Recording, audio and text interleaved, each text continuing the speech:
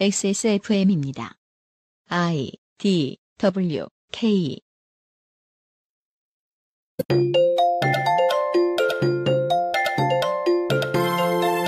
온라인에는 비슷한 사람들이 덜어 있지만 그래도 여전히 우리에게 자경단이라는 이름은 생소합니다.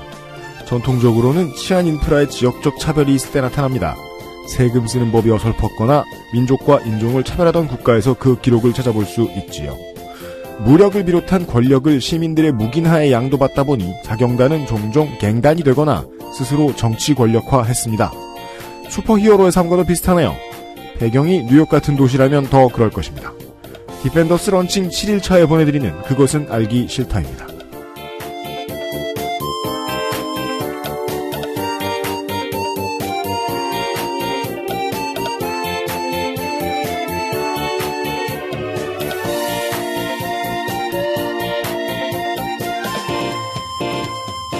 지구상의 청취자 여러분, 한국 시간 금요일에 인사드립니다. 2017년 8월의 마지막 금요일입니다.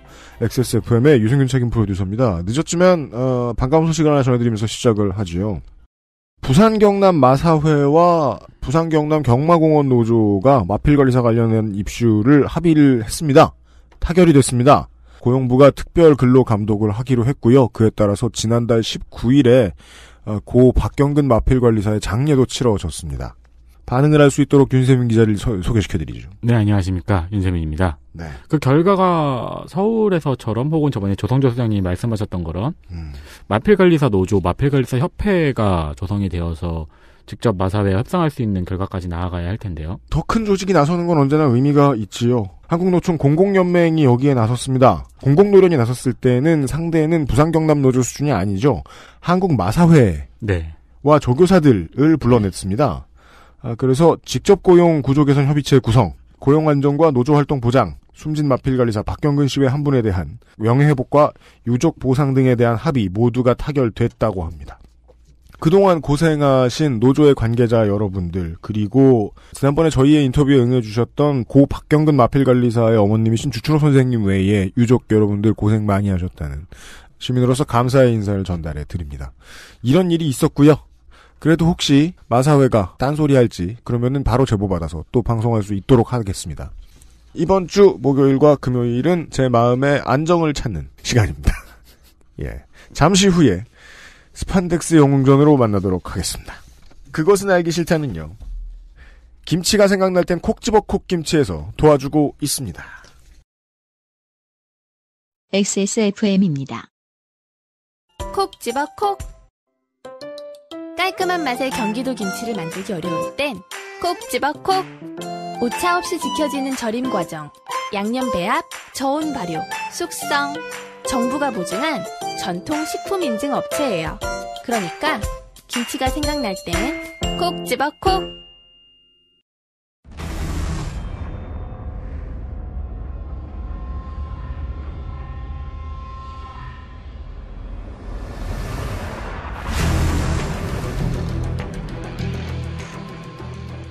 기본 교양, 슈퍼히어로 문학의 이해, 스판덱스 영웅전, 제11화, 디펜더스.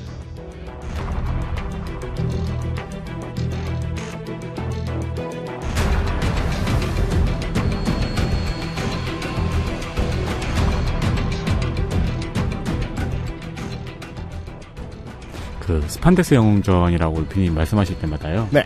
저는 계속 습한 death 영웅전일 것, 일것 같아요. 그건 뭐예요? 그러니까 날씨가 습하다 할 때. 습한, 습, 습해서 죽겠다. 네.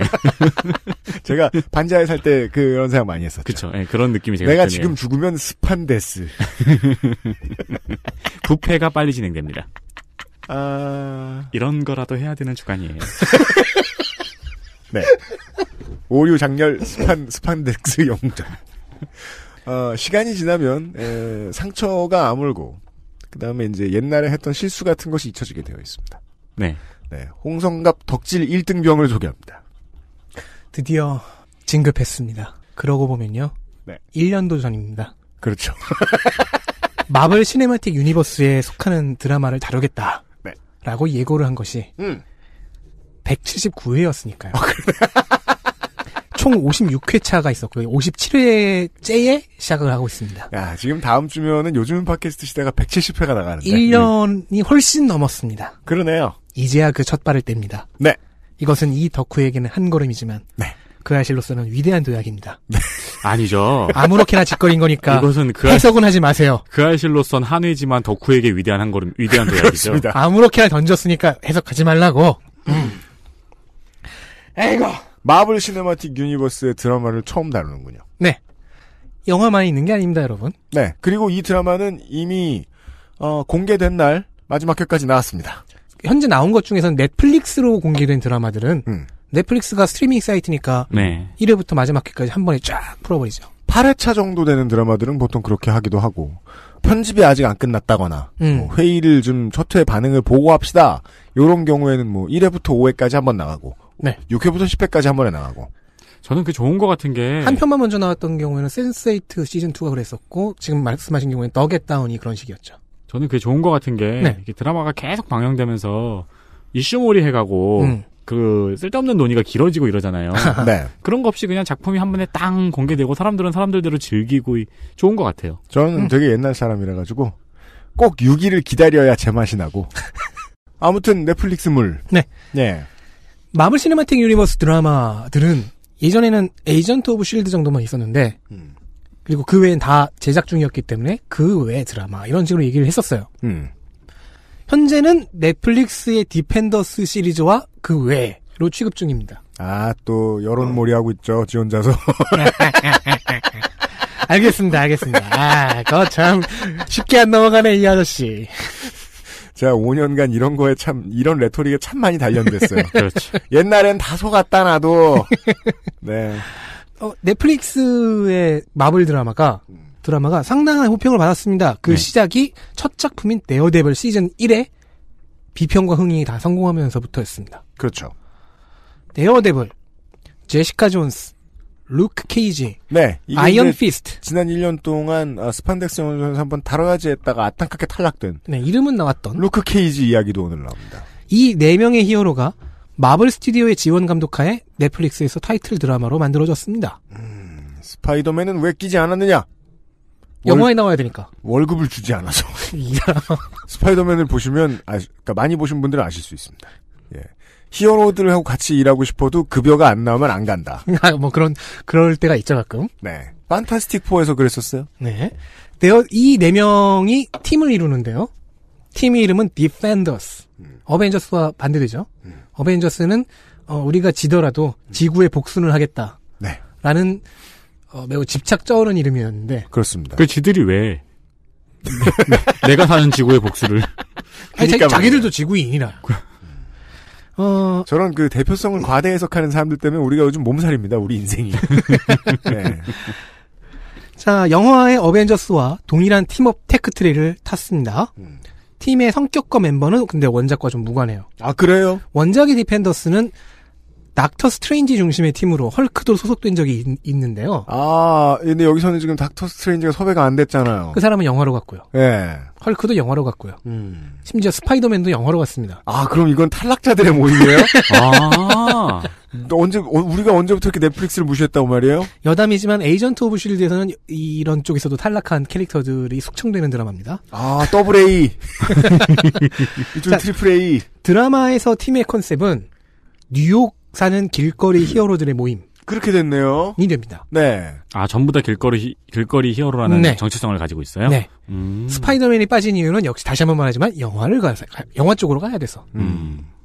시간은 이제 어벤져스 1편에 나왔던 그 뉴욕 전투 이후 시간입니다. 그렇습니다. 여기서 저는 마블 코믹스의 음. 뉴욕 패권주의를 성토합니다. 헤아려 보세요. 뉴욕 배경이 너무 많다. 네. 아이언맨, 버키와 캡틴 아메리카. 이게 어찌 보면 되게 이제 북미인들이 가지고 있는 뭐라고 얘기해야 될까요? 그 고정관념을 나타내는 건지도 몰라요. 도시 하면 뉴욕이다. 서부에 가면 범죄가 적다. 웃기고 있네. 웃기고 있죠. 또 누구야? 여기 있는 이네 명에다가 스파이더맨도 그렇고 잔뜩 그래요. 뭐 뉴욕이 뭐 세계 수도인 건 알겠어요. 근데 이제 또그 만화의 버릇이 있잖아요. 슬픈 일이 있고 안 좋은 일이 있을 때 비가 와야 된다. 그러면 동부가 아니, 그냥- 동부가 제격이다. 예. 그냥 팔려 그런 거 아니에요? 모르겠습니다. 음, LA가 배경이 아닌 이유는 뭐 연구한 포 채널에 가면은 연구한 덕들이 좀 있긴 있을 텐데 음, 저희는 저는- 안 알아봤어요. 저는 이런 뉴욕 패권주의를 성토하겠습니다. 네. 그리고 데어데블로 가보겠습니다. 안드로이드가 나왔고 알았다. 데어데블 1964년 스탠리와 빌 에버렛 본명은 매튜 머독 역시 MM이죠. 시각장애인입니다. 영화 보면서 저는 썩 만족하진 않았었어요. 음. 예. 근데 시각장애인인 데어데블이 어떻게 세상을 바라 인식하고 인지하는지를 컴퓨터 그래픽으로 나타낸 그 장면은 좀 괜찮지 않았나요? 그러니까 아, 되게 노력했기 때문에 어. 누구 앞에서도 까지 않았거든요. 음. 방송에서 처음 얘기하는 아. 거예요. 어, 난 가만 안 온다. 아, 저는 저는 까고 싶어요. 그 장면 빼고는 다 별로였거든요. 아, 그랬어요. 네. 어. 어, 교통사고에 휘말려서요. 화학 물질이 눈에 들어가 시력을 잃습니다. 음. 그리고 자신과 똑같이 시력을 상실한 스틱이라는 노인에게 두 가지 훈련을 받아요. 하나는 무술. 음. 근데 무술을 하려면 사물을 인식해야 되잖아요. 반향정위라는 게 있어요. echolocation. 어, 청력을 비롯한 다른 감각들을 이용해서 시각을 대체하는 훈련입니다. 음. 실제로 존재하고 이론상으로는 데어데블과 같은 경지 데어데블이나 스티커 같은 경지에 오르는 것이 가능하다고 합니다. 반향정의와 무술 훈련을 통해 후각, 청각, 촉각을 훈련해서요. 시각을 대체합니다. 그런데 이 훈련도가 이른 시각을 대체한 것 이상으로 예민해서 일종의 레이더가 가능합니다. 울림을 통해서 벽 너머, 너머, 너머에 있는 상황을 알아채기도 하고요. 음. 직업은 변호사인데요. 음. 음. 주로 무료 변론이나 인권 변호에 치중합니다.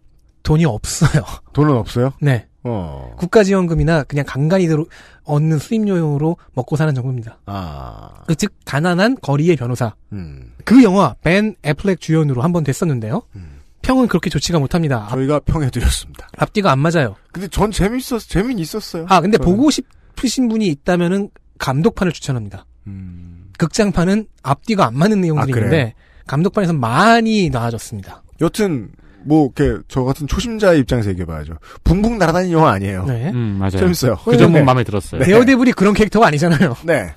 뚜벅이죠. 음. 자 넷플릭스 드라마는 현재 두 개의 시즌이 나왔습니다. 데어데블. 각 타이틀 드라마마다 다루는 주제가 따로 있다는 겁니다. 음. 컨셉이 따- 따로 있어요. 음. 데어데블 드라마가 다루는 주제는 분노와 폭력입니다. 이거는 모든 히어로물이 다루는 드- 주제 아니에요? 포커스를 맞추는 게 다르, 다를 수 있죠. 아하. 배트맨 같은 경우에 보통 개인의 상처 트라우마에 좀 더 집중을 하죠. 하지만 여기서는 데어데블과 그 주변 인물들, 그 상대역들이 이 분노와 폭력이라는 키워드를 가지고 고민을 해요. 시즌 1의 빌, 빌런인 킹핀, 음. 스파이더맨에서 빌려왔던 친구죠. 네. 어제 시간에 마지막에 잠깐 등장했습니다. 시즌 2의 서브 캐릭터로 등장하는 퍼니셔가 대표적인 데어데블의 상대역이 되는데요. 그러면서 대비 효과가 나옵니다. 자, 80년대에 스파이더맨에게서 빌려왔던 킹핀, 망해가던 데어데블 코믹스를 살려냈습니다. 그리고 포- 퍼니셔, anti-hero 캐릭인데요. 징벌적인 폭력에 한계가 없습니다. 그래서 굉장히 잔인합니다. 네. 참교육 캐릭터죠. 네. 퍼니셔도 영화가 두 편이 나왔는데, 옛날에 오락실에 게임이 있었죠. 네. 그 옛날에 라이언스 게이트였나 해서 1, 2편이 나, 그니까 두 편이 나왔는데, 두 번째가 리부트예요. 그 전편이 실패해서. 두 번째는 볼만해요. 꽤 잔인합니다. 뭐 어쨌든. 즉, 이 두 캐릭터는 폭력성에 있어서 데어데블의 고민을 공감하지 않습니다. 왜냐면 자기들은 이미 답을 냈거든요. 반면 데어데블은 고민하는 거죠. 내가 이렇게 폭력적인 이유가, 이렇게 분노하는 이유가, 사람들을 돕기 위해서가 맞느냐. 그게 아니라 내 내면에 악마가 있는 것은 아니냐. 라는 식으로요. 그런 고민 안 하는 사람이 좀 더 인기가 많아요. 그렇죠. 그래서 고민하는 데어데블과 그렇지 않은 두 사람이 각 시즌에서 이제 대비되는 이 대비점이 데어데블 드라마의 중심 구도가 됩니다. 보통 관객의 생각은 그 고민을 끝내고 테레비에 나와라인데 크랩이 앞에서 계속 고민해요. 그래서 퍼, 퍼니, 퍼니셔 영화 그 두 번째 영화는 꽤 볼만해요. 음. 그딴 고민을 하- 끝냈고 중간에 잠깐 영화 중간에 하다가도 그냥 끌어버리고 다시 총을 쏘거든요. 음, 맞아요. 폭력을 쓸지 말지 고민하는 사람은 폭력을 쓰는데 거리낌이 없는 사람하고 맨날 아. 대립하더라고요. 그 문장보다 좀 다른데요. 네. 폭력은 써요. 데어데블은. 알지. 근데 이 폭력을 쓰는 이 내 내면의 과정은 정당한가를 음, 그죠. 고민하는 것이죠. 맞습니다. 시리즈 중에서 액션씬이 가장 훌륭하고 가장 처절합니다. 에피소드 내내 데어데블은 처맞처맞처맞합니다. 이 시즌에 등장한 퍼니셔는 상당히 큰 호평을 받았어요. 그래서 별도 시즌이 현- 편성돼서 현재 제작 중입니다. 디펜더스 4인 중에선 유일하게 원작 costume을 그대로 입는 히어로입니다. 그 퍼니셔의 costume은 그 옛날 디자인에도 불구하고 지금 봐도 참 멋있어요. 그 해골 그거요? 네. 맞아요. 그 티셔츠 입으면은 저 그냥 코믹 팬 같지 않아요. 음, 맞아요. 디자인 같아. 네. 좀 폭주족 같기도 하고 깽 같기도 하고. 맞아요. 데어데블이 사는 곳 그리고 변호사 영업과 자경단 활동을 하는 구역은 뉴욕의 헬스 키친이라는 동네입니다. 아, 아까 조들호네요. 뭐라고요? 조들호. 동네 변호사 조들호. 아, 뭔 스판덱스 같은 소리 하나 했네. 아, 조들호! 네. 안드로인 줄. 네. 자, 뉴욕은요, 다섯 개의 구역으로 이루어져 있죠. 음. 자, 어제 이어 뉴욕을 또 가보겠습니다. 남으로는 34번 Street, 북으로는 59번 Street, 동으로는 8번 Avenue, 서쪽으로는 뭐 허드슨 강일이죠. 이 동네에는 뉴욕 여객항이 있고요. 음. 허드슨 강 건너편 서쪽에 있는 뉴저지주 유니언시티와는 링컨 터널로 이어져 있습니다. 음. 이 동네가 지옥의 부엌이라고 불리게 된 기원은 뭐 서너 가지 설이 있는데 뭐 어느 음식점 이름에서 기원했다 이런 설을 제외하면요 전부 하나 같은 공통점이 있습니다. 사람은 많은데 사람 살 때가 아닌 것 같고 사람 같지 않다. 집값이 싸다.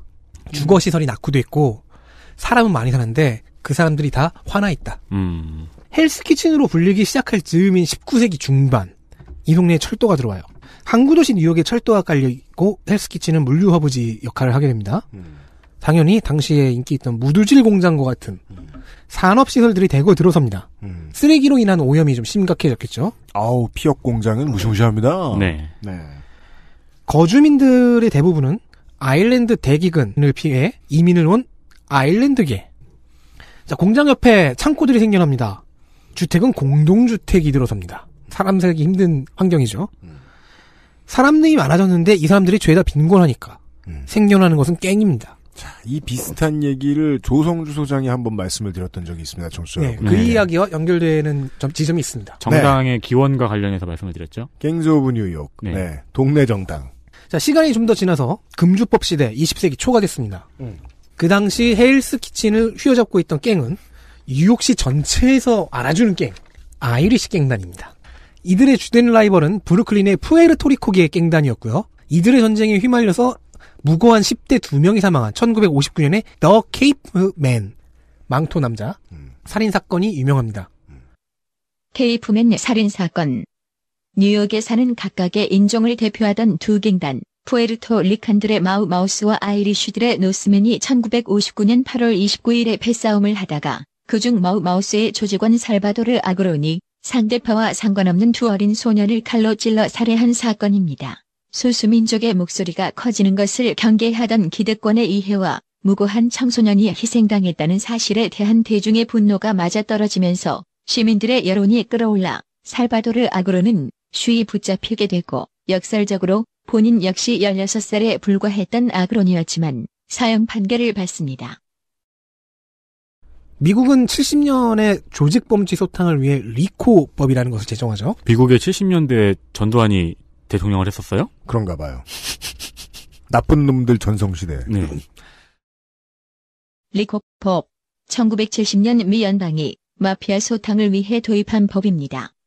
범죄 집단이 혹은 무렴치한 기업이 자신의 이윤 추구 행위가 적법했다는 것을 법원에서 증명하지 못하면 그간 얻어온 이익을 국가가 몰수할 수 있도록 하고 불법 행위로 인해 손해를 본 피해자들의 소송을 유도하여 징벌적 손해배상까지 이끌도록 하는 법입니다. 최근 국내에서 여당을 중심으로 삼성의 경영권 상속 전략이 국민에게 피해를 입혔다는 근거로 이를 처벌하기 위해 리코법과 비슷한 법을 제정하자는 이야기를 꺼낸 적이 있지요. 그리고 86년에 이 리코법을 이용해 헬스키친의 패권을 쥐고 있던 당시의 조직 The Westies, 웨스티즈를 소탕하는 데 성공했습니다. 즉 86년 이전까지는 헬스 키친이라는 동네의 실세가 공권력이 아니라 갱이었다는 얘기입니다. 자, 뉴욕시와 뉴욕주는 갱들을 내쫓는 한편 헬스 키친에 대한 대대적인 재개발을 감행합니다. 생활 수준 자체를 높여놔야 갱의 발흥을 발흥을 막을 수 있다는 그런 판단이었죠. 그런데 덕분에 젠트리피케이션이 일어납니다. 주민들은 쫓겨난 갱과 함께 쫓겨납니다.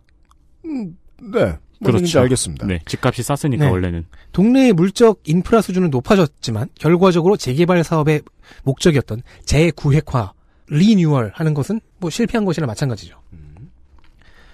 21세기 들어서 다시 재구획화를 시도하고 있긴 합니다. 리조닝을요. 어쨌든 이 1차 재개발 이후 헬스키치는 60년에서 80년 데어데블이 한창 그려지던 낙후하고 위험한 우범지대 헬스키친이 아니게 됩니다. 음. 그래서 뉴욕에 살고 있는 제 둘째 형은 제가 헬스키친에 대해서 물어봤을 때, 아, 헬스키친에 나 자주 가는 마트 있는데, 음. 라고 답하게 된 겁니다. 네.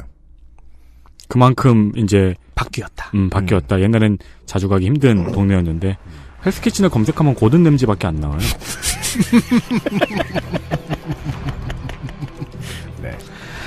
이러니까 뭐 네오데블의 헬스키친도 좀 명랑하게 바뀌어야 되는 것 아닌가 싶지만요. 뭐 어쩌겠습니까? 몇십 년을 우범지대로 그려왔는데요. 이것이 터미네이터 시리즈의 딜레마죠. 세계가 멸망했는데 영화 계속 만들어야 돼요. 그런 얘기입니다. 어, 데어데블을. 만나보셨어요. 데어데블과 그가 대표하는 동네 헬스키친의 이야기였습니다. 네. 그것은 알기 싫다는 기억력 향상에 도움을 줄 수도 있는 바이로메드 공신보감에서 도와주고 있습니다. 잠시 후에 제시카 존스를 만나보시죠. 누구요? XSFM입니다.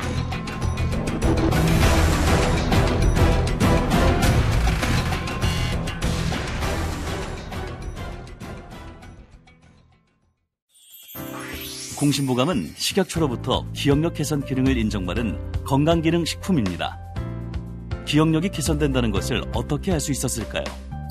인체 적용 시험을 통해 공신보감을 섭취한 사람들이 기억력 개선에 도움을 받았다는 사실을 증명하였습니다.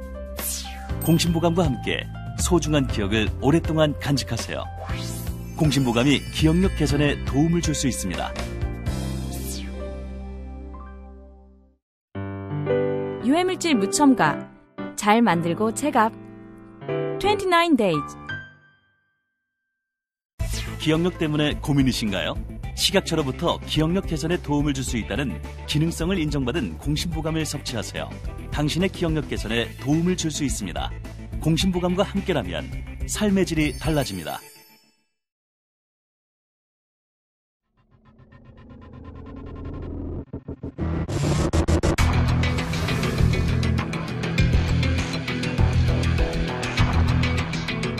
기억하셨다면 제시카 존스 이야기입니다.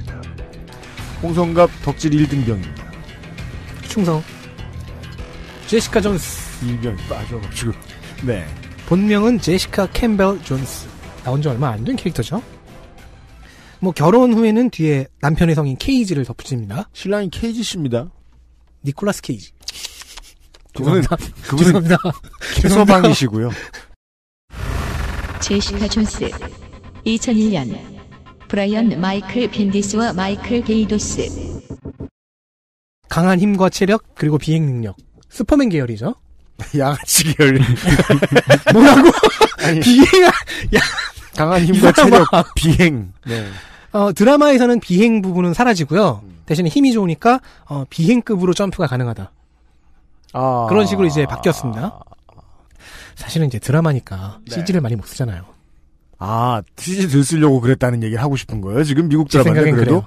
아이고. 그 슈퍼걸 드라마에서 C, g 쓰는 게 예. 얼마나 알뜰하고 적절하게 쓰는지 알아요? 아, 그 뛰어서 건물 위에 올라가는 거나 날아서 가는 거나 비슷한 거 아닌가 싶었는데 아닌 모양이군요. 음. 능력 획득 과정은 데어데블과 동일하게 사- 교통사고로 인한 화학물질의 노출. 보통 히어로는 다 이렇죠. 네. 많은 슈퍼히어로 super villain들이 네. 사고로 인해 만들어집니다. 네. 우리는 사고 없는 안전한 사회를 만들어야겠습니다. 그게 바로 이 화학 물질에 대해서 인간이 가지고 있는 공포심을 네, 개발하고. 있는 거예요. 그걸 이용한 스- 플롯인 거죠. 음. 음. 자, 원작에서는 루크 케이지와 결혼에 골인하여 딸까지 낳게 됩니다. 음. 직업이 사립 탐정이에요. 음. 비교적 현실적인 탐정 업무를 합니다. 현실적인 탐정 업무라면은 불륜이요? 네. 음. 불륜 캐고 혹은 남의 사- 신상 캐고. 아, 음. 신문센터네요. 근데 상당히 유능하다고 평가됩니다. 음, 이런 거 잘하는 사람 있죠. 네. 제시카 존스의 컨셉은 은퇴한 히어로입니다. 혹시 이런 걸 잘한 내가 제시카 존스만큼 한다라고 생각되시는 분은 XSFM25의 골뱅이, 25 골뱅이 gmail.com으로 이력서를 보내주세요. 일단 드라마를 보시고요. 네. 채용하겠습니다. 어, 쥬얼이라는 이름으로 히어로 활동을 했다가 어, 모종의 사건으로 인해 큰 충격을 받아 은퇴하고 탐정 사무소를 차립니다. 진짜 히어로물 안 같죠, 그래서. 네. 네. 얼라이어스 라는 얼라이어스 탐정 사무소라는 이름입니다. 이 얘기 듣고 보니까 스파이더맨도 이거나 하지. 돈을 더 잘 벌 수 있을 거 아니에요. 그니까 말이에요. 가서 얘기해줘요. 이 쥬얼이라는 identity는 만화에서는 흑역사 취급하고요. 드라마에서는 잠깐 지나간 농담 취급을 합니다. 네. 아, 너 옛날에 그런 것도 했었잖아 하면서. 얘기하지 마! 이러면서. 음. 어, 여담으로 스파이더맨에게서 빌런을 빌려왔던, 빌런을 빌려왔던, 데어데블처럼 제시카도 스파이더맨과 약간의 연관이 있습니다. 제시카의 첫사랑이 피터 파커였다잖아요. 음. 덕분에 남편인 루크가 잠시 질투를 하는 얘기가 있긴 합니다. 드라마에서는 나이가 완전히 달라져서 음. 차이가 많이 나서 연관이 되진 않을 겁니다. 아, 피터 파커는 안 늙었군요. 젊게 나오죠. 어. 이미 제시카 존스는 성인인데 드라마는 현재 1개 한 개 시즌이 나왔고요. 다음 시즌 만들고 있다고 합니다. 다루는 주제는 상처와 집착입니다. 자, 데어데블이 액션 스릴러라면 제시카 존스는 심리 스릴러로 만들어졌습니다. 빌런이 드- 때문에 그렇게 결정이 된 건데요. 킬그레이브라는 성으로 통칭되는 퍼플맨입니다. 이 사람은 말을 통해서 즉석 세뇌 및 조종이 가능합니다. 네. 호스요? 네? 말이요, 말? 이랴. 아니요. 언어. 그러니까 음. 여기서 내가 퍼플맨이라고 치면 윤세민에게 춤춰 하면 윤세민은 자동적으로 춤을 춥니다. 아. 춤을 추고 싶게 되고요. 저는 또 이렇게 말 위에 올라탄 상태에서 상대방을 보고 내 말에 눈을 봐. 지, 지원해줘. 내 말 들어. 한 마리 더 사줘. 원작에서는 보라색 피부인데요. 드라마에서는 이제 컨- 그냥 컨셉 컬러가 보라색인 걸로. 드라마에서 특히 이제 능력을 통제하는 게 불가능해서 네. 이 사람은 중증 소시오패스로 성장해 버립니다. 음. 이런 얘기가 있어요. 난 단어 하나도 제대로 말, 말하지 못한다. 음. 앞에 있는 사람한테 욕을 하고 screw up, screw you 하면 그 사람은 어떻게 되겠어요? 뭐라고요? 아, 그래서. screw you 하면 어떻게 되겠어요, 그 사람이? 아, 그 농담을 하기가 좀 어렵네요. 농담도 못하고 화도 못 내고 음. 무엇보다 내가 말을 하면 이 사람이 들어주니까 이 사람의 게 공감을 해야 될 필요성이 없어지는 거죠. 공감 예를- 능력이 발달이 안 돼요. 예를 들어 제가 이제 가끔 대화를 주고받았던 어떤 어르신은 상대가 되게 웃긴 얘기를 하면 이제 미국 말로 음. 아, 여기서 나가라라는 표현을 하곤 했어요. 그게 그 동네 노인네들이 웃긴 얘기를 들었을 때의 그 공손한 반응이었나 봐요. 어. Get outta here가. Get out of here. 이런 이런 막 식으로 그 얘기를 얘가 하면은 공손해. 그래서 너무 재밌는 얘기를 들어서 그렇게 얘기했다. 그럼 걔는 갑자기 문이 열리고 걔 바람이 불면서 나가 그- 나가게 되는 거죠. 그것도 그건데 한국 사람들 같은 경우는 특히 습관적으로 죽고 싶다는 얘기 많이 하지 않나요? 자, 원작과 드라마 모두 제시카가 히어로 활동을 그만두게 된 원인이 퍼플맨 킬그레이브 때문입니다. 원작에서 그러면 이제 어떻게 빠져나왔는가? 빠져나와야지 드라마도 이- 그 만화도 시작이 되니까요. 원작에서 제시카가 마인드 컨트롤을 빠져나올 수 있- 있었던 계기는, 계기는 사실 퍼플맨의 바보짓 때문입니다. 데어데블을 잡으려고 이제 제시카에게 붉은 코스튬을 입은 히어로를 죽여라 라고 명령을 했어요. 그랬더니 제시카는 어벤져스 맨션에 가서 스칼렛 위치를 공격했습니다. 응? 스칼렛 위치를 공격하면 친구 아이언맨과 남편 비전이 등장하죠. 음. 네, 그래서- 그 뭐가 문제일까요? 다 뉴욕에잖아요? 다 뉴, 어벤져스 맨션은 뉴욕에 있으니까요. 드라마에서 제시카 킬그레이브의 관계는요. 욕망과 집착에 근거한 성폭행 가해자와 피해자의 관계로 그려집니다. 제시카가 쥬얼로서 활동을 하다가 킬그레이브한테 획득 당해요. 그러니까 세뇌를 당한 거죠. 그렇죠. 네. 넌 지금부터 내, 나를 따른다. 음. 그럼 끝이니까요. 음. 그래서 하수인이자 노리개로 사용합니다. 간신히 빠져나온 뒤에는 당연히 이 시절에 대한 트라우마를 안고 살아가게 되는 거죠. 음. 그리고 킬그레이브는 퍼플맨은 계속해서 제시카에게 집착합니다. 자신을 벗어난 사람이니까요. 음. 그래서 그 서로 간의 트라우마와 집착이 대립하는 심리 스릴러가 되는 거군요. 그렇습니다. 그리고 이 집착이라는 코드는 제시카의 주변 인물에게서도 나타납니다. 친구인 패시 워커, 원작에서는 헬캣이라는 히어로인데요. 패시와 그 어머니의 관계도 이와 유사합니다.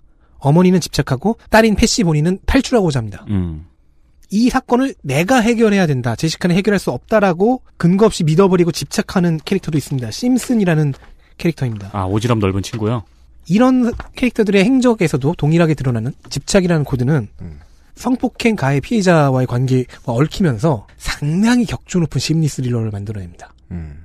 게다가 이걸 표현해내는 배우들의 연기력이 훌륭해서요. 음. 눈빛만 봐도 긴장감이 꾹 차오르는 그런 경험을 하실 수 있습니다. 아, 그래서 직업상 탐정 노릇을 하다 보면 계속 자기의 트라우마를 건드리는 장면을 보게 되는 거네요. 그렇죠. 그리고 동시에 시작이 그저 그런 탐정으로 잘 살아가고 있는데 킬그레이브가 돌아왔다는 정황을 보게 되는 거죠. 음. 그 마블 시네마틱 유니버스의 진정한 의미의 확장을 말해준다고 할까요? 이 작품을 보고 있으면 심리 스릴러예요.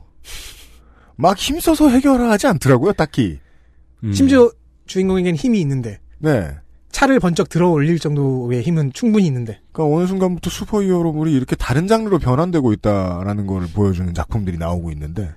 예, 캡틴 아메리카 영화 시리즈도 그랬죠. 어떤 것은 첩보 스릴러, 어떤 것은 정치 스릴러처럼 맞아요. 보이게 돼. 그게 이제 1940년대, 50년대 이럴 때, 야, 나의 방패를 받아라! 하던 작품들이 음. 캐릭터의 인기는 유지되고 있고 그 서사는 유지할 수 없으니까. 그렇죠. 네. 새로운 방, 방편들을 찾아내야 됐고 네. 네. 이렇게 그 제시카 존스나 캡틴 아메리카처럼 음, 성공적인 변형 케이스들이 있다. 그렇습니다. 마치 이 국민의당 그 원내 회의 장면 같은 것을 떠올리게 합니다. 왜요? 이대로 변하지 않으면 죽는다. 꾸준히 결론을 내고 있는 거죠, 새로운. 네. 네. 자유한국당은 그런 결론을 냈으려나? 결론은 확고해요. 하던 걸 꾸준히 한다.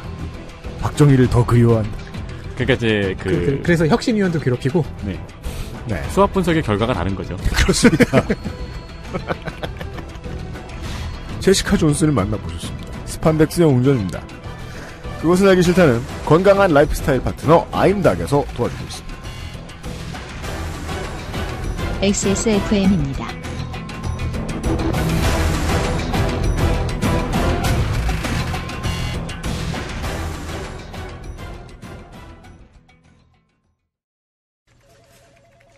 이대리, 과장님, 이건 기름지고 짠 마트 소세지가 아니고요. 아임닭 닭가슴살 소세지예요. 어, 이것도 닭가슴살이야? 한 입에 먹기 편하게 생겼네? 아이 참, 과장님. 아임닭 큐브잖아요. 국내산 현미가 들어가서 정말 부드럽고 다이어트에 딱이라고요. 질리지도 않고 먹기도 간편해서 다 이거 먹어요. 닭가슴살을 가장 맛있고 간편하게 먹는 법 프리미엄 safe food 아임닭 콕 집어 콕. 식구가 많아도 나 혼자 살아도 김치는 콕 집어 콕. 시원한 백김치, 감칠맛의 갓김치, 아삭한 총각김치. 무게도 포장도 원하는 만큼 다양해요. 그러니까 김치가 생각날 땐 콕 집어 콕. 아이들이 먼저 알고 좋아하는 안심 먹거리. 프리미엄 safe food, 아임닭.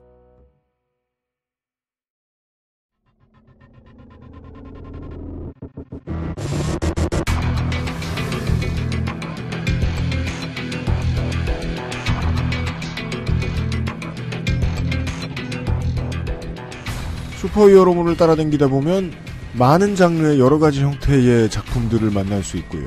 미국 사회 혹은 일반 대중이 원하는 상품이 무엇이었는가 하는 기제들을 좀 엿볼 수 있습니다. 아, 없는 와중에 의미를 살피고 있습니다. 아니 그 슈퍼히어로 그 스판덱스 영웅전 가장 첫 번째 시간 있잖아요. 네. 네, 가장 빠르게 미국의 사회를 보여주고 있는 네. 문화 상품이라고. 맞아요. 네. 그때가 제일 좋았어요. 후회하고 있군요. 끝냈어야 됐는데 계속 하고 있어요. 올 여름의 스판덱스 영웅전. 아, 오늘 시간에는 벌써 데어데블과 제시카 존스를 돌아서 아닌 게 아니라 비가 진짜 하루 걸러 하루 오니까 네. 여름 내내 습해요. 집요한 개그 한다 진짜. 아 이게 팟캐스트의 한계죠. 심심하면 아재 개그한다. 우리도 자유롭진 않습니다. 네. 네. 아, 이번엔 누굽니까? 루크 케이지 제시카 존스의 남편입니다. 네. 안드로이드 나왔죠? 중요한 점이 하나 있습니다. 뭡니까? 원작자 아치 왜요, 왜요, 왜요? 안드로이드 안 나오고 이 말만 나오면 되게 웃기겠네요. 오, 진짜! 진짜! 내가 대신할게요. 루크 케이지. 1972년. 루크 케이지 1972년 아치 굿윈, 존 로미타 시니어와 조지 투스카 중요한 점 원작자 아치 굿윈은 농구 선수가 아닙니다. 그게 뭐가 중요해? 캔자스 시티 출신의 만화 작가이고요. 아직 생존해 알겠습니다. 계십니다. 네. 왜 중요하지? 알았어요. 현역이잖아. 능력은 한 단어로 요약 가능합니다. 인간 탱크. 아, 이거 두 단어군요. 음. 어, unbreakable.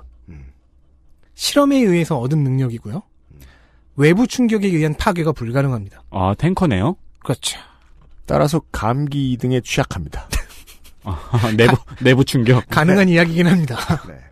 어, 변비 이런 데 오, 치명적인데. 본명은 칼 루카스로 루크 케이지는 자신이 직접 지은 또 다른 이름입니다. 네. 그러니까 개명을 한 셈이죠. 음. 원작에서는 파워맨이라는 이름을 쓴 적이 있는데 네. 현재는 쓰지 않고 드라마에서도 등장하지 않습니다. 그러니까 금기어가 된 것 같아요. 배우 니콜라스 케이지가 루크 케이지의 팬이어서 예명을 케이지로 지었다는 이야기는 유명하죠. 그렇습니다. 그는 백인인데도요. 최근 원작의 코스튬은 코스튬이라고 좀 부르기도 그렇고 트레이드 마크는 딱 붙는 탱크탑 티셔츠인데 네. 드라마에서는 그걸 입지 않고요. 음. 후드 티를 트레이드 마크로 삼고 나왔습니다. 네. 네, 그렇더라고요. 네. 이것도 시대에 맞춰서 좀 바꾼 거죠. 그렇습니다. 예. 인종차별에 대한 저항의 의미가 언젠가부터 미국에서는 hoodie에 주어졌기 때문에. 네. 예. 현재 한 개 시즌이 나와 있고요. 다루는 주제는 유산, legacy, 네. 즉 선대로부터 후대가 물려받는 정신적 혹은 물질적인 무- 모든 것. 음, 미국이 중요하게 생각하는 가치죠. 그렇죠. 재밌는 점은요. 매 에피소드마다 미국 유명 뮤지션의 라이브가 작중 공연의 형태로 들어가 있는 있습니다. 네. 등장하는 빌런 코튼마우스가 클럽을 갖고 있거든요. 네. 이 클럽에서 공연하는 뮤지션들. 미국 음악사를 옆에 끼고 진행하더군요. 음. 메소드맨도 등장하는데요. 래퍼. 메소드맨의 라이브는 좀 작중에서 특이합니다. 메소드맨과 루크가 직접 만나요. 그래서 그 후에 메소드맨이 라디오에 출연해서 루크 케이지에 대한 지지와 응원을 밝히며 그를 위해 만든 랩을 라디오 라이브로 하는 설정입니다. 문자 그로 그대로의 OST, 오리지널 사운드 트랙이죠. 그렇습니다. 아, 메소드맨은 그리고 메소드맨으로 나와요? 네. 음. as himself. 음. 메소드맨은 보통 되게 많은 영화에서 자기 자신으로 나오죠. 메소드맨과 루크 네. 케이지가 만나갖고 서로 막 반가워하면서 둘 다 유명인사니까 음, 음, 서로의 음. 후드를 바꾸어 교환하는 장면도 있어요. 음.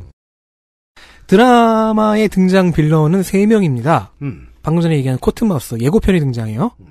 여기에 더해 블랙 머라이어와 다이아몬드 백이라는 이 세 명 모두의 공통점이 있는데요. 캐릭터성에서. 이름이 이상해요. 이름, 뭐 이름도 이상할 수 있어요. 이제 선대로부터 물려받은 것 혹은 물려받지 못한 사실 때문에 고통스러워한다는 점입니다. 코튼마우스의 경우에는 음악에 재능이 있는 것으로 나오는데 음 악가가 아니라 깽 두목이 되어 있어요. 음. 왜냐면 자기 고모가 시켰거든. 더 성공한 거 아닌가요? 그니까 말이에요. 하지만 이, 이 본인에게는 고통일 수 있는 거죠. 음. 이런 와중에 빌런들이 모두 선대의 영향, 선대의 유산 때문에 고통받는 와중에 루크는 조금 다릅니다. 루크에게 영향을 끼치는 죽은 자, 죽은 사람은 아내예요. 전 아내.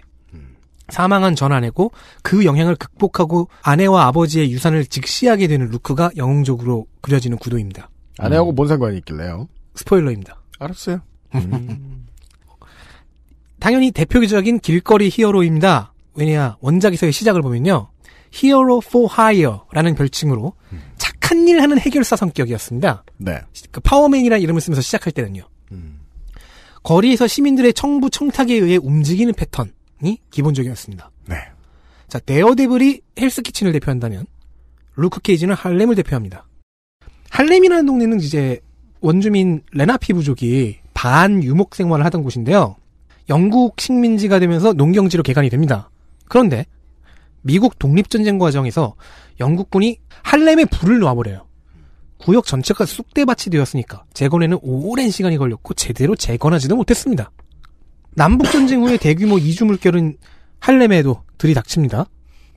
할렘으로 들어온 인종은 유대계와 이탈리아계였습니다. 아, 그러니까 화재로 인해서 쑥대밭이 된 상태에서 이를 재건하지 못했으니까 가진 게 없는 네. 이민족들이 이쪽으로 몰려드는군요. 그렇죠. 헬스키친 쪽으로는 아이리시가 갔고 음. 이쪽은 주이시와 이탈리안. 1916년이 됐을 때는요. 남부의 흑인들이 이주를 시작합니다. 특히 푸에르토리코계들이요. 브루클린과 퀸즈와 할렘으로요. 음. 600만 명이 북동부, 중서부, 서부로 이동하는 대이주, Great Migration의 시대입니다. 이게 1960년까지 지속이 되죠. 자, 뉴욕시로 온 사람들은 할렘에 정착합니다. 빈 땅이 많고 네. 싸니까. 때마침 이제 유대계와 이탈리아계의 사회적 신분이 조금씩 높아져서 할렘에서 나가는 사람들이 늘어났어요. 그럼 이 자리는 누가 채우죠? 흑인들이요. 음. 남부에서 온 흑인들. 1910년에 할렘에서는 흑인 비율이 10%였습니다. 1930년에는 70%를 넘습니다. 흑인이라고 해도 문화적 배경이 단일하지 않잖아요. 네. 굉장히 다종다양한데 네. 이들이 기존에 있던 유대 이탈리아계 문화와 섞이게 되면서 문화적인 폭발이 일어납니다. 이때 뭐 New Negro 운동도 있었고요. 음. 이 시기를 할렘 르네상스라고 부릅니다. 그런데요. 영국군의 방화 이후 할렘은 다른 뉴욕시 동네에 비해서 건물 인프라의 수준이 현저히 떨어지는 동네였어요. 그래서 할렘에서 툭 하면 나오는 요구가 거주 인프라 확충해달라. 교육 인프라 확충해달라. 뉴욕의 현대사를 보면 흔히 확인할 수 있는 포인트입니다. 유색인종들이 많이 사는 곳에 도로, 전기, 퀸즈와 수도, 어, 예. 병원, 퀸즈와 브루클린의 일부 경우, 뭐 할렘 이런 이런 경우죠. 소방서, 경찰서, 학교 이런 것들이 턱없이 부족하다는. 할렘의 인프라가 이렇게 낙후된 상태로 정체돼 버린 그런 요인 중에 하나는 대공황도 있습니다. 30년대 초 할렘의 실업률은 25%에 달했습니다. 2차 대전의 전쟁 특수도 뉴욕에게 호재로 작용하진 않았습니다. 왜냐? 뉴욕이 이미 초거대 도시로 변해버리니까 메갈로폴리스가 됐으니까 됐죠. 뉴욕시의 기능이 소비 일변도로 완전히 바뀌어 버리면서 생산 시설들이 뉴욕 바깥의 다른 지역으로 옮겨갔기 때문입니다. 때문에 2차 대전 이후부터는 낙후된 건물과 시설에 대한 요구가 급속히 증가했습니다. 특히 교육시설. 할렘 청소년들의 교육 수준이 이를 증거합니다. 60년대로 가볼까요? 할렘 10대들은 75%가 읽기 능력이 평균 이하, 80%가 산수 능력이 평균 이하였습니다. 63년에는 92%의 학생이 학교에 가지 않고 집에 있었습니다. 이런 상황이 30년대부터 60년대 계속 지속되니까 여력이 있는 사람들은 직업과 사회 인프라를 찾아서 할렘이라는 동네를 탈출해 나갑니다. 남은 사람들은 어떤 사람들일까요? 여력이 없는 사람들이죠. 돈도, 기술도, 지식도, 인맥도 없는 사람들. 음, 그쵸. 아니면은. 대부분은 흑- 흑인이고 그 백인들마저도 유택의 이탈리아계. 네. 그렇게 되면 할렘에서밖에 먹고 살 수 없는 사람들이 생기겠네요. 그렇죠. 이들이 살 길은 절도, 마약 등의 범죄, 그리고 그 범죄를 수행하기 위한 조직, 갱이죠. 그죠. 이들은 할렘을 벗어나면 장사가 안 될 테니까요. 네, 또 갱 얘기가 나왔습니다. 조성주 소장께서 지적, 지적하셨던 바. 미국 사회에서 아일랜드, 유대, 이탈리아계 등이 조직했던 갱은 범죄 조직인 동시에 정치 세력의 역할도 했다고 하셨죠. 뭐 우리나라도 비슷한 걸 했죠. 그러니까 해당 인종들이 차별 권역 안에 있- 있는 시기에 대변해줄 정치 세력이 없을 때 그 역할을 떠맡았던 갱들. 할렘 주민들의 특히 흑인들의 갱단은 그보다는 조금 더 생계 조직에 가깝습니다. 이거 외에 먹고 살 만한 거리가 많지 않은 거예요. 이 갱단의 전통이 지금까지도 이어지고 있고 미국 래퍼들이 툭하면 얘기하는 마약, 갱, 폭력, 여성 혐오, 경찰 증오 등의 발화가 어떤 맥락인지를 알 수가 있게 되죠. 70년대 들어서야 할렘 주민들의 직업, 교육, 공공안전, 주거 등의 총체적 문제를 해결하기 위해 제가 이 자료를 찾아 자, 자료를 찾고서 단위를 보고 눈을 의심했어요. 1억 달러 가까운 돈을 쏟아붓습니다. 음. 효과는 없었습니다. 왜죠? 그러고서 창조경제혁신센터를 만들었나 보죠. 중간에서 빼먹을 수도 있고요. 음, 이미 할렘은 떠나거나 깽이 되거나 둘 중 하나였으니까. 그렇죠. 음. 그리고 85년도 들어서는 일다운 일로 바뀝니다. 네. 비로소 제대로 된 정책이 85년에야 나와요. 주민들을 지역, 지원하는 창구로 지역 커뮤니티가 적합하다는 것을 시가 이제서야 깨닫습니다. 공공 소유의 건물들을 쫙 리모델링을 해요. 그런 다음에 이거를 커뮤니티들에게 시장가 이하로 경매합니다. 잘 정비된 건물을 커뮤니티들이 확보를 하죠. 그러면 이제 정부 지원금과 기부금을 바탕으로 사회사업을 벌이게 됩니다. 이 건물들은 그 사업의 공간이 되어줍니다. 이게 먹혀 들어갔습니다. 물론 이거는 돈이 도는 과정이죠. 그러면 돈이 도는 과정에 깽단이나 부패 정치인들이 끼어드는 것은 인지상정입니다.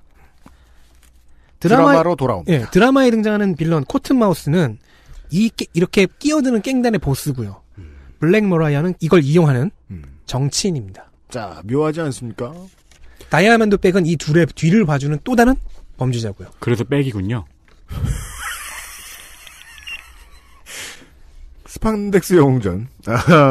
뉴욕 투어. 뉴욕 투어를 진행하고 있었습니다. 오늘의 얘기는 이 정도고요. 그 어제 스파이더맨 얘기할 때는 이제 고등학교 때, 어, 저 비실비실한 남자애가 만나는 일진과 그 관심이 있었던 여학생들. 음. 요런 게 주인공이었다가. 중요한 인물들이었다가. 여기서는 국가가 투자하는 사회간접 자본에 투자하는 비용을 떼어먹으려고 들러붙는 갱단과 정치인. 이 빌런이네요. 중요 등장인물이네요. 그렇죠. 네. 아주 다른 드라마들 몇 편을 이틀 동안 갑자기 많이 만나보셨습니다. 일단 디펜더스 얘기는 다음 주에 나머지 이야기들을 좀 들어봐야 되겠습니다. 뉴욕 얘기를 왜 이렇게 덕질 일병이 오래 했는가. 다음 주에 다시 이야기해 줄 겁니다. 어, 하지만 뉴욕 패권주의는 반대합니다. KT 페리도 반대하고 있습니다. 네. 어, 홍성갑 덕질 수고 많았습니다. 감사합니다. 그것은 알기 싫다는 한국에서 처음 만나는 반값 생리대 29데이즈에서 도와주고 있습니다. XSFM입니다.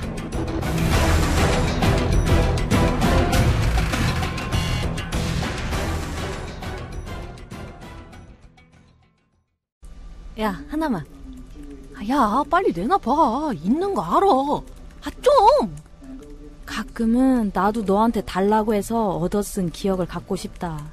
반대의 경우가 없었지 아마. 미안하다. 아, 바쁘지만 않았어도 만들어서 썼다, 진짜.